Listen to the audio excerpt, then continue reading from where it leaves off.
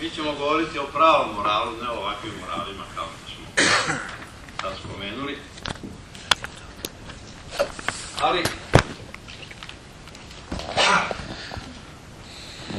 čak i ako se pravilno koristi izraz moral, kroz ljudsku istoriju se stalno menjalo menjao pojam morala i suština morala se menjala. Svako doba je imalo neki svoj moral.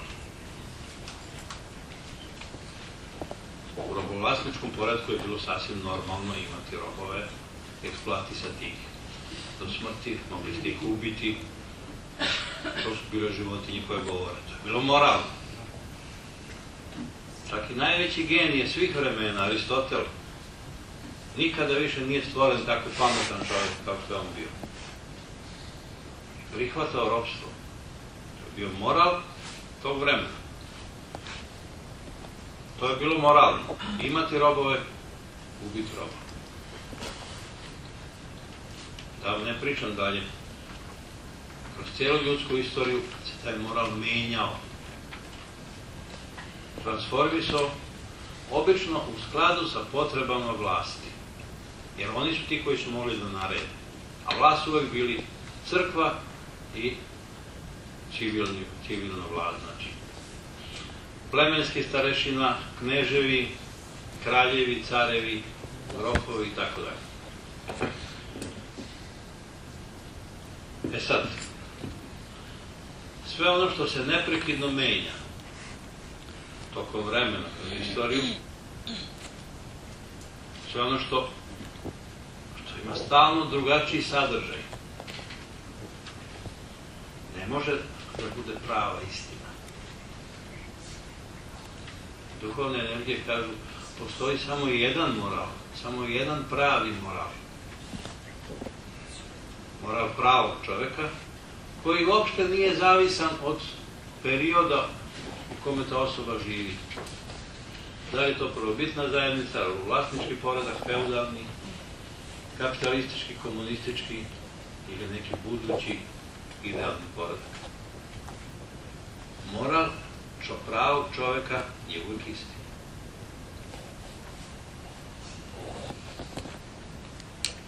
I on se neće menjati, znači nije smeo ni do sada se menja i neće se menjati u budućnosti. Uvijek će ostati taj pravi moral.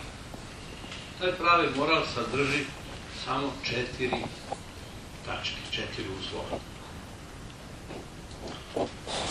Prvi uslov je da misli te osobe ne smu sadržati ništa što je negativno ni prema kojoj osobi, pa čak ni prema životinjama, biljkama. Na kraju imate mesta koliko volite. Možete i ležati.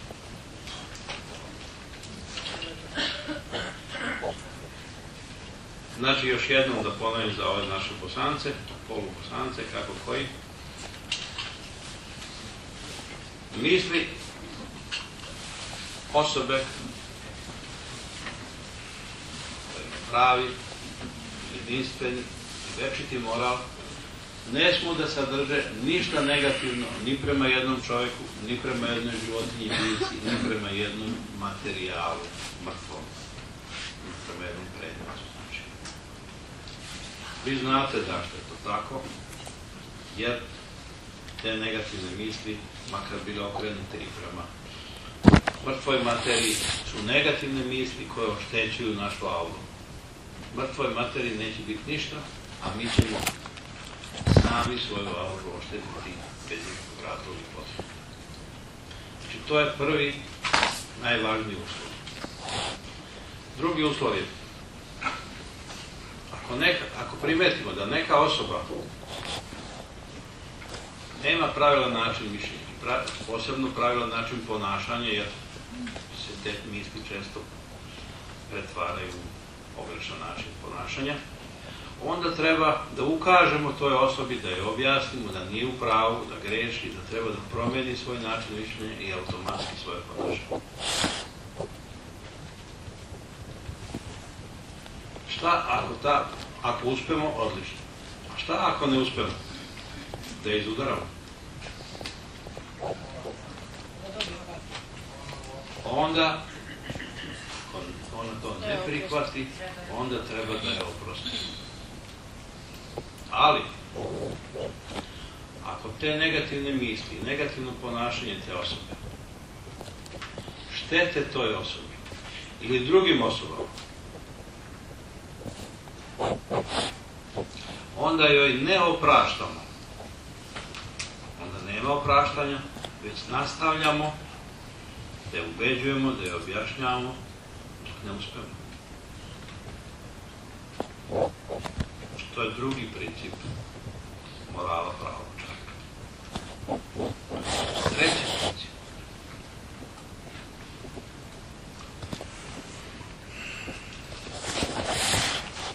Čovek mora imati pozitivan način mišljenja u odnosu na samog sebe. A i tu se ne podrazumeva onaj pozitivan način mišljenja, ja sam pametan, ja sam lep, ja sam ovo, ono. Taj pozitivan način mišljenja podrazumeva da mi izbegavamo i da neutrališemo sve nepotrebne, to znači a, nerealne strahove.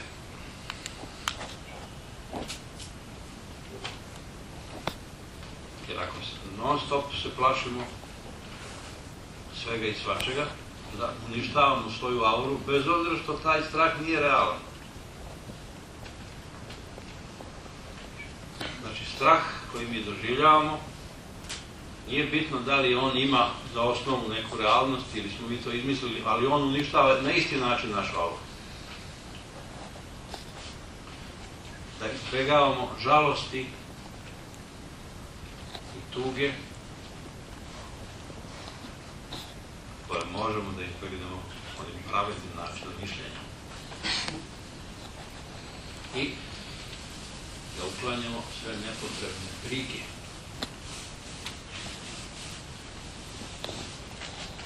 To su znači jedina tri uslova koja prema sebi treba da ispunimo i oni su sasvim dobro. Oni uključuju sve ostale probleme.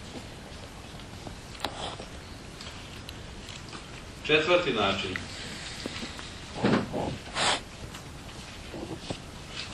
Mora se poštovati mišljenje drugih osoba. Koliko to mišljenje i ponašanje, naravno dok se podrazumije mišljenje i ponašanje, koliko to mišljenje i ponašanje ne škodi bilo toj osobi, bilo drugim ljudima.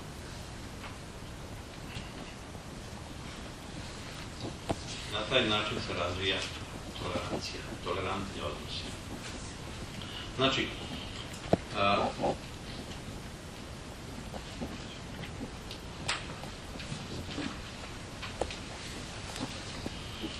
znači da moramo da negujemo, prihvatimo da različiti ljudi različito razmišljaju, imaju različite navike, imaju različita, različite želje, različite zanimanja, koje imaju iz bilo koji razloga. Bilo zato što su prirodno takvi, bilo zato što žive pod drugačijim uslovima nego mi. To slično. Mi jednostavno moramo da prihvatimo da postoje drugačiji načini mišljenja i ukoliko oni nisu štetni ni za tu osobu, ni za druge ljude, onda moramo da prihvatimo to njihovo mišljenje, da je ono ravno našem, bez obzira što se razlikuju. To je jako, jako važan, taj četvrti princip, koji je jedan od onih poslednjih loših ponašanja ljudi koji konačno dovode do krize i ratova. Znači, počinje se sa pogrešnim načinom mišljenja, a završava se sa netolerancijom i na kraju dođe do eksplozije.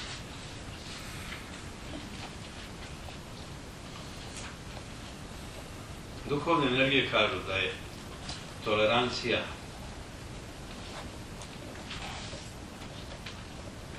ili trpeljivost, pa se da to nazovemo, jedini pravi međuljudski odnos.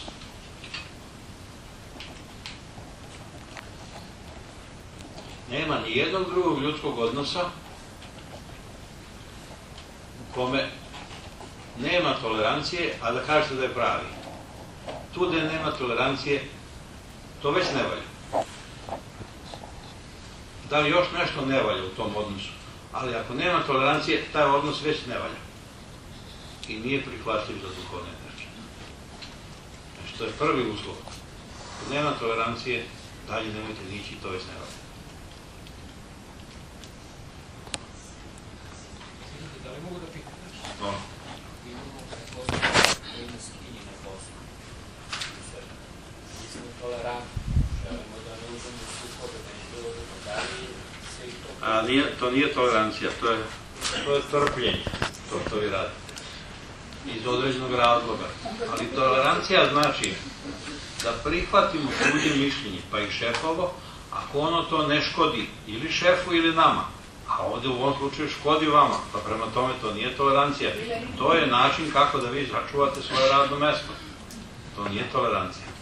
To je ugnjetavanje. često puta kao i za ono moralno, tako i kažu, on je jako tolerantan, ovi ga bio, on ćuti. To uopšte nije tolerantno. Znači, naš narod koristi šta god dolati. Naši seljaci raspolažu sa 500 reči.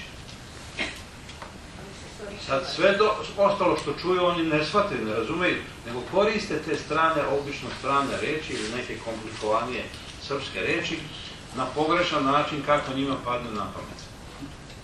Možete napraviti knjižicu jednu vrlo duhovitih tih njihovih primjena, pogrešnih izraza i, i, i reči, ovaj, koje uopšte nemaju veze sa, sa pojmom te reči.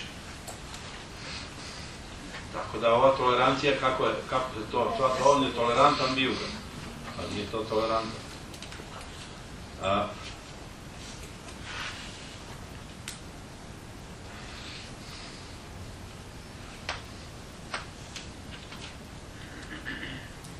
duhovne energije kažu da su ova četiri principa jedini moralni principi koji treba da se pridržava svaki čovjek u svim vremenima.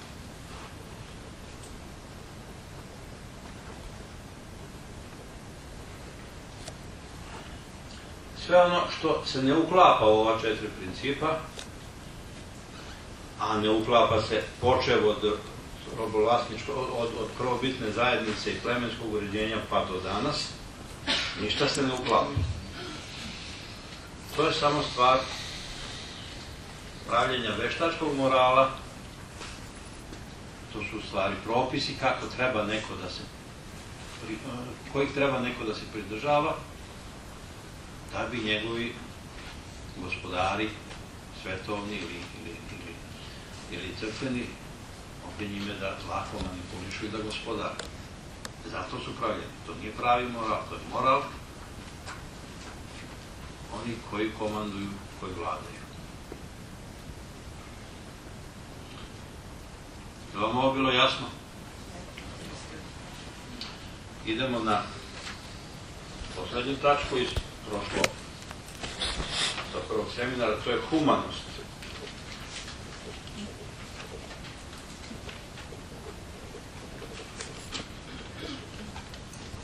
Humanost potiče od reči, latinske reči čovek, homo. I humanost je pre svega odnos čoveka prema čoveku. Ali isto tako humanost je odnos prema životinjama, biljkama i mrtvoj materiji takođe. Ali nas ipak najviše interesuje odnos prema čoveku, pri čemu humanost podrazumeva pre svega zabranu svakog maltretiranja, kinjenja, mučenja, ubijanja čovjeka. Znači sve što podrazumeva neko maltretiranje čovjeka nije humano. Humanost je u stvari zaštita čovjeka, a ne njegovo maltretiranje. Međutim, to je vrlo jasno i to, to ne predstavlja ovaj, ništa što, što je nerazumljivo, što treba objašnjavati. Ali postoji neki malo subtilniji, malo finiji delovi humanosti koje mi tumačimo svako na svoj način. I duhovne energije mi upravo ukazuju na to. Znači, još jednom da ponovim, maltretiranje na bilo koji način, fizički, psihički, neku drugu osobu, je nehumano. Odnosno, humano znači jedan pozitivan odnos prema svakom čovjeku. Međutim, postoje i neki odnosi prema ljudima koji nisu, ne mogu da se kažu da je to maltretiranje. Vi nikog ne maltretirate, a ipak možete da ispadnete nehumani. Znači, to su neki delovi ili varijante humanosti koje nisu potpuno jasne kao ono da neko nekoga tuče, maltretira, kinji i tako dalje. I duhovne energije su navele dva primjera gde se ljudi ne pokazuju baš na nivou zadatka, na nivou humanosti. Pričamo oni prvom mestu spominjem situaciju da često puta nismo spremni da pomognemo kad je čovjek u nevolji. Dakle, mi ga ne, nismo ga mi doveli u nevolju, ali vidimo da je čovjek u nevolji, a mi se pravimo toše. Oni navode najčešći slučaj, idemo ulicom i vidimo neko leži, nešto s njim nije u redu, nije normalno da neko na ulici leži. Ili je bolestan, neki put je pijan, ima neki napad, ili povređen, ili bilo šta. To naravno ne važi kad je selo u pitanju, pa svaki pola sata prođe jedan čovjek. Nego kada vi kroz centar jednog grada prođete gde stotine ljudi istovremeno prolaze tim trotoarom koji vidite i vi, po nekoliko ljudi u redu prolaze, pa vidite, svi mi vidimo da neko leži. Najčešći naš, naša reakcija na tu situaciju je ne da baš me briga neka crkne, niko to ne pomišlja tako. Ali većina nas pomisli a dobro, valjda će se neko naći da mu pomogne, ja sad žurim, nemam vremena, ispravljaću se, tako dalje.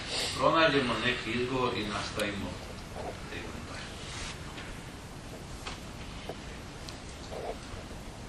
Uvijek se nađe neko ko će mu prići. Uvijek se nađe neko ko je dovoljno human, ko a, je spreman da rizikuje da bude ispravljan i da izgubi vreme, pa često puta i da ga ova osoba izmaltretira, izgrdi, ovaj, ali ipak se odluči da je pomoći. Duhovne energije kažu da ipak nismo mi tako ni, ni ovaj, bezosećajni, nego samo jednostavno vidimo nekog nesrećenog vreme kad mi nismo spremni da mu pomogu. Psihički, fizički, na bilo koji način. Nismo, eto, imamo drugu nameru. Krenuli smo u jednom drugom pravcu sa jednim drugim ciljem i ovo bi nas ometalo. Znači, to ometanje je dovoljan razlog da mu ne pomognemo. To nije, to nije dobar razlog, sigurno, ali eto, to je naš razlog.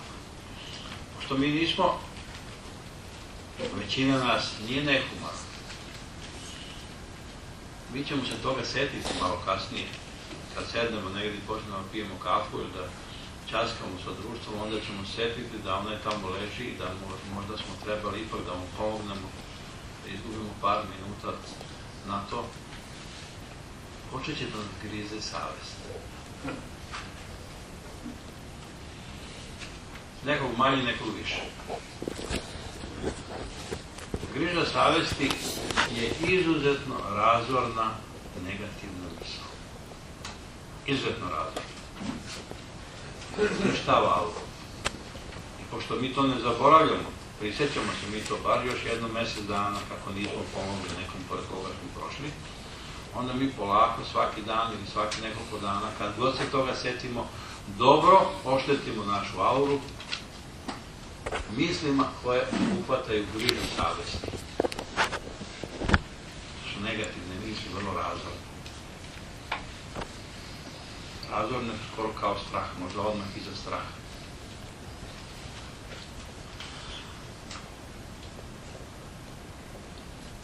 Duhovne energije kažu da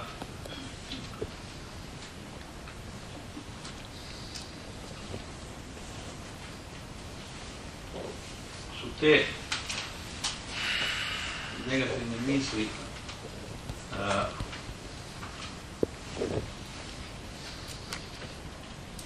mnogo štetnije, nadaći nam mnogo veću štetu nego da smo pomogli toj osobi, nego da nas je možda ona udarila, da nas je možda opsovala, da smo se isprljali, da smo zakasnili na sastanak zbog nje. Mnogo bi bolje prošli nego da imamo naše misli, križe savesti koje će nam jako mnogo oštetiti. Mi jednostavno nismo u stanju to da uporedimo, prvo ne znamo. Kad znamo, trebali bi to da uporedimo i kad bi mogli da sagledamo, kao što to mogu duhovne energije, da sagledaju šta će biti s našom aurom i sa nama, koliko ćemo imati štete ako smo mu pomogli i koliko bismo imali štete ako mu ne bi pomogli, onda bi prevaga bila sigurno da treba da mu pomognemo, ali mi to ne možemo da sagledamo. Jer naš domet, ljudski domet nije takav da mi to možemo ne samo unapred, nego da mi to izvagamo. Zato nam one to govore, da nam omoguće da to shvatimo i da to naučimo, kad već ne možemo sami da razumemo i da sami to sagledamo.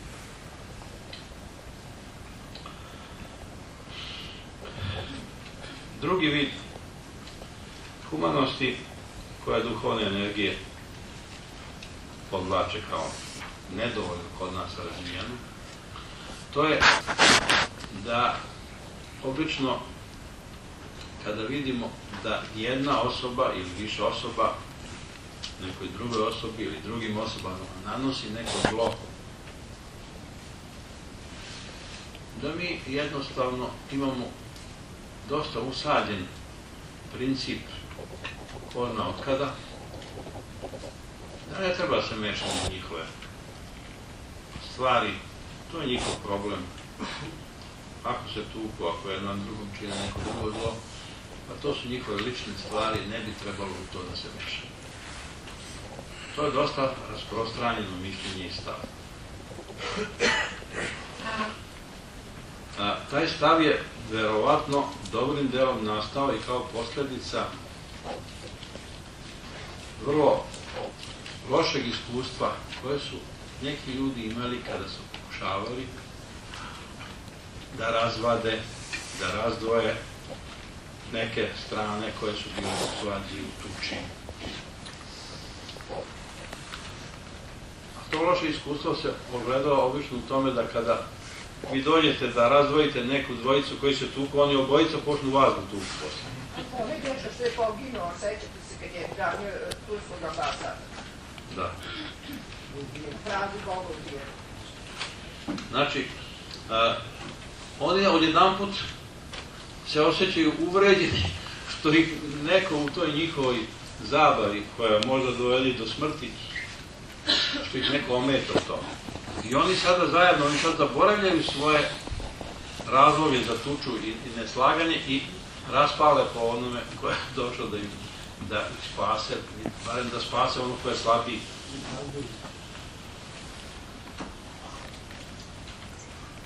Dakle, tu su iskustva sigurno vrlo negativna, vrlo često. Redko ćete vi naći da uspete da nekog razvadite i da vam još bar jedan od njih, onaj slabiji, da vam se zahvali. Znači, iskustvo nas je nataralo da budemo obazrivi i da budemo na kraju nezainteresovani šta to drugi rade. Ali treba da vodimo računa o tome da u toj tuči postoji slabiji koji će nas stradati. A humanost jeste pomoć i zaštita ljudi. To je naš zadatak, humani, da zaštitimo. A ne da kažem pa slabiji, baš me briga nek dobije. Znači, ipak treba da ovaj usađeni princip koji je ko zna kada nastao, nije dobar, pogrešan je. To tako ne sme da se radi. Ne smemo da budemo indiferentni prema onima koji jedan drugome nanose zlo. Ili jedan onom drugom samo, ili obojica jedan drugom. Međutim, pogrešno je isto tako i prići da ih razvadimo, pa da onda mi dobijamo ponos. To je isto pogrešno. Jer mi treba da zaštitimo sebe. Mi ne treba da srljamo, da nekom drugom pomažemo, pa onda mi lošije prođemo od onoga koga smo mi hteli da zaštitimo. To je zaštiti, podrazumevamo i zaštitu sebe, a ne samo drugih ljudi. Znači, i jedno i drugo je pogrešno. E sad, duhovne energije imaju jedan program koji imam utisak da mi skoro da nismo dorasli tome. One kažu ovako, pogrešno je ne razvaditi pogrešno je i razvaditi ih tako da dobijete vi batinu. Šta je onda treće? Kaže, treće je da se pronađe, odnosno, zašto ste dobili vi. Zato što ste na pogrešan način, u pogrešno vreme pokušali to uraditi. Znači, treba da se pronađe način kako da to izvedete i kad to da izvedete, tako da taj način vašeg učešća uključenja u tu svađu i tuču ne donese nikakve štetne posledice. Naprotiv, da vi postignete svoj cilj. Znači da zaštitite jednog i drugog ili barem jednog. A, to treba da se postigne tako mudrim delovanjem duhovne energije kažu to jeste mudrost. Znači, da mi treba jednoj strani u zavadi ili obema da priđemo na taj način koje one neće odbiti. Znači, ako mi dvojice se tuku, a mi priđemo i počinjemo da udaramo jednog ili vučemo drugog, oni to odbijaju, neće to. Treba rečima ili delom da im ukažemo tako da oni to ne odbiju, nego da prihvate to što smo mi rekli. Da realizuju. To znači da prestanu, da se toliko ili svađaju. Šta više, da posle toga ne, ne napadaju rečima ili delom vas, već da ostanete u dobrim odnosima. Znači da se svađa ili tuča zaustavi, da to oni urade dobrovoljno, jer su shvatili da to treba da se završi i da sa vama ostanu u dobrim odnosima. E, to se po duhovnim energijama zove velika mudrost i to je verovna granica. Tako da, ovo je više, čini mi se, teoretski, ali, znači, postoji način, a postoji mudri ljudi, koji će povremeno, jer će neko od nas biti mudar, pa će povremeno uspeti da pomogne nekima koji su shvatili tuči, da pronađe način koji će biti ovako pozitivan.